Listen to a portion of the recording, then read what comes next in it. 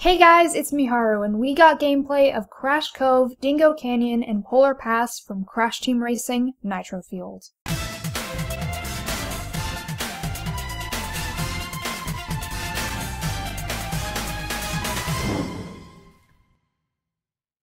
Now we did get three separate videos for each level, however for the first two I'm going to be taking a look at the split screen versus mode video that was uploaded by GameSpot mostly because we actually get to see bits and pieces of what we can expect the selection menu to look like.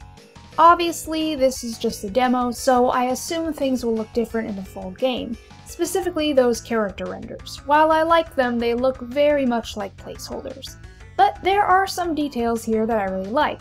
For one, over the level names you'll notice it says what story mode area they're from, and when you select a character, they have unique animations. So in Crash Cove, the first thing you may notice, aside from the beautifully updated scenery, is the monkeys at the start slash finish line. This seems to be a recurring detail throughout each level, having an animal that represents said area above the big CTR. Monkeys in Crash Cove, an armadillo in Dingo Canyon, and a polar bear in Polar Pass. The map is also updated to show the actual character faces instead of just dots, so now you know exactly who is where at what time. And of course, I can't forget the biggest thing that caught my attention. This was just an experiment. He never said that in the original. You know what that means. New dialogue for possibly every character. This makes me so happy, especially for N. Gin, since he totally got snuffed and insane when they removed three of his lines.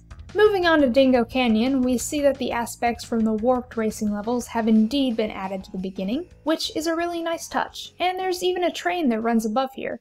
You know, the more that I look at it, the more it reminds me of Cottonmouth Bluff from Sly 4's second episode. Also, I forgot to mention victory animations. I love how Crash does his dance in the cart. And then we come to Polar Pass. To be completely honest, this was never a favorite track of mine, specifically because of this part where you have to jump across the gaps. Either I wouldn't make it due to not having enough speed, or I'd overshoot them due to too much speed. But anyway, the amount of detail in the environment is just astounding. I love the orange glow of the fire against the whites and blues of the snow and ice.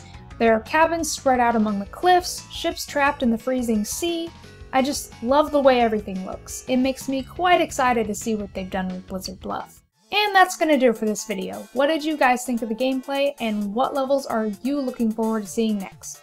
Leave a comment and let me know. And as always, don't forget to subscribe and follow me on Twitter, and I will see you in the next video. Until then, this is Miharu, signing off.